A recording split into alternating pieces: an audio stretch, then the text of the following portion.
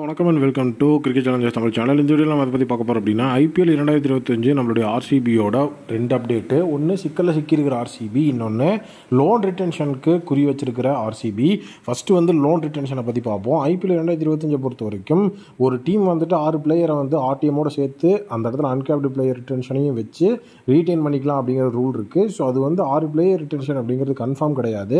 உங்களுக்கு வந்துட்டு எத்தனை ரிட்டென்ஷன் வேணுமோ அத்தனை ரிட்டென்ஷன் பண்ணிவிட்டு ரிமைனிங் இருக்கிறத நீங்கள் ஆர்டிஎம்மாக சூஸ் பண்ணிக்கலாம் அப்படிங்கிறது தான் ரூல் ஸோ அது மட்டும் இல்லாமல் ஆர்சிபியை பொறுத்த வரைக்கும் அவங்ககிட்ட ரிட்டன்ஷனுக்கு என் நம்பர் ஆஃப் ஆப்ஷன்ஸ் இருக்குது ஸோ ஓவர்சீஸில் பார்த்தீங்கன்னா Maxwell Cam Green Faf du Plessis so Indian சைடில் பார்த்தீங்கன்னா கோலியை விட்டுட்டு நீங்கள் வந்துட்டு அந்த இடத்துல சிராஜ் ரஜத் படிட்டார் அப்படின்னு சொல்லி பல வகையான பிளேயர்ஸ் இருக்கிறாங்க. பட் ஆனாலும் வந்து பார்த்தீங்கன்னா அந்த இடத்துல ஆர்சிபி பயங்கிறதுக்கு முக்கியமான ரீசன் என்ன அப்படின்னு வந்து பார்த்தீங்கன்னா பர்ஸ் தான். ஸோ அதாவது அவங்களுடைய பர்ஸ் கிடையாது. ரிட்டன்ஷன் ஷாட்டில் இருக்கிற பர்ஸ் ஸோ ஃபஸ்ட்டு பிளேயருக்கு எயிட்டீன் க்ரோர்ஸும் செகண்ட் பிளேயருக்கு ஃபோர்டீன் க்ரோர்ஸும் தேர்ட் பிளேயருக்கு லெவன் க்ரோர்ஸும் மறுபடியும் ஃபோர்த் அண்ட் ஃபிஃப்த் பிளேயருக்கு எயிட்டீன் அண்ட் ஃபோர்டீன் க்ரோர்ஸும் கொடுக்கணும் அப்படிங்கிறது தான் ரூல் ஸோ இதில் நீங்கள் யாருக்கு வேணாலும் எப்படி வேணாலும் அமௌண்ட்டை பிரிச்சுக்கலாம். பட் ஆனால் வந்து பார்த்தீங்கன்னா ஃபைவ் பிளேயர்ஸ் ரீட்டைன் பண்ணுறீங்கன்னா கண்டிப்பாக எழுபத்தஞ்சு கோடி அப்படிங்கிறது வரணும் அப்படிங்கிற மாதிரி சொல்லியிருக்காங்க.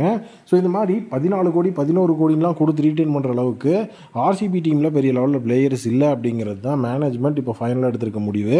அந்த முடிவை வந்துட்டு அவங்க மேனேஜ்மெண்ட் சைடு எல்லார்ட்டையும் கன்ஃபார்ம் பண்ணி அதை வந்துட்டு சொல்லவும் செஞ்சுட்டாங்க. இதுக்கப்புறம் ரிட்டன்ஷன் டீமும் டேலன்ஸ் டீமும் கோச்சஸும் உட்காந்து பேசி தான் ஃபைனல் டெசிஷன் கொடுக்கணும். ஸோ இப்போது விராட் கோலியை மட்டும் எயிட்டீன் க்ரோர்ஸ்க்கு ரீட்டைன் பண்ணிட்டு மீதி எல்லாத்தையும் வெளியே போய் விட்டுட்டு நம்ம ஆர்டிஎம்ஏ பண்ணிக்கலாம் அப்படிங்கிற மாதிரி தான் வந்து எல்லோரும் பேசிகிட்டு இருக்காங்க. ஏன்னா வந்துட்டு அது எனக்குமே சரியான முடிவு மாதிரி தான் தெரியுது. ஏன்னா பதினாலு கோடி பதினோரு கோடிக்கெல்லாம் நீங்கள் வில் ஜாக்ஸ் அந்த மாதிரியான பிளேயர்ஸ் எல்லாம் எடுத்தீங்கன்னா அதுக்கு அவ்வளோ அமௌண்ட்டுக்கு போவாங்களா அப்படிங்கிற விஷயம் இருக்குது ஸோ அது மட்டும் இல்லாமல் இந்த மெகா ஆக்ஷன் கண்டிப்பாக வந்துட்டு பிளேயர்ஸ் ரொம்ப அதிகமாக இருப்பாங்க. உங்களுக்கு இந்த பிளேயர் வேணும்னா இதே மாதிரியான பிளேயர் நீங்கள் யார் வேணாலும் எடுத்துக்கலாம். மெகா ஆக்ஷன் அப்படிங்கிறதுனால சாய்ஸஸும் நிறையா இருக்குது ஸோ அதனால் வந்துட்டு ஆர்சிபி மேனேஜ்மெண்ட் வந்துட்டு கோச்சஸை கொஞ்சம் யோசிக்க சொல்லியிருக்கிறாங்க. யோசித்து டெசிஷன் எடுங்க அப்படிங்கிற மாதிரி சொல்லியிருக்காங்க. இப்போ அவங்க க்ரீன் சிக்னல் கொடுத்துருக்கிறதுக்கு லோன் ரிட்டன்ஷன் அப்படிங்கிற மாதிரி கோழியை மட்டும் நீங்கள் ரீட்டைன் பண்ணிங்கனாலே போதும். மீதி எல்லாத்தையும் ஆர்டிஎம் பண்ணுறதுக்கு வாய்ப்பு இருக்குன்னு சொல்லியிருக்காங்க. ஏன்னா அதுதான் ரூல்ஸும் ஒரு பிளேயரை மட்டும் நீங்கள் வந்துட்டு உள்ளே வச்சுருந்தீங்க அப்படின்னா அஞ்சு ஆர்டிஎம் நீங்கள் யூஸ் பண்ணிக்கலாம்.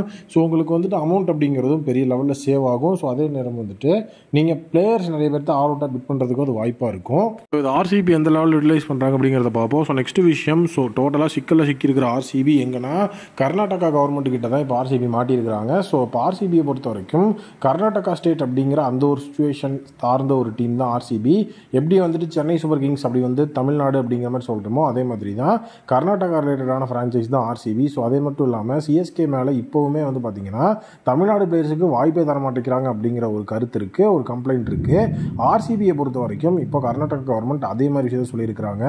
அவங்க வந்துட்டு கப்படிக்கல அப்படிங்கிற விஷயத்தை பற்றி நாங்கள் பேசலை. பட் ஆனால் வந்து லோக்கல் டேலண்ட்ஸை டெவலப் பண்ணுறதுக்கு ஆர்சிபி கொஞ்சம் கூட வந்துட்டு முயற்சியே பண்ணுறதில்ல அவங்கக்கிட்ட ஸ்டார் டீம் இருக்குது மேக்ஸ்வெல் ஓவர் ஓவர்சீஸ் பிளேயர்ஸை தான் வந்து அவங்க எடுக்கிறாங்களே தவிர ஸோ டேவிட் படிக்கலுக்கு அப்புறம் ஒரு தரமான ஒரு பிளேயரை வந்துட்டு கர்நாடகாவிலேருந்து எடுத்து அவங்க வந்து உருவாக்குனாங்களா அப்படின்னா கண்டிப்பாக கிடையாது.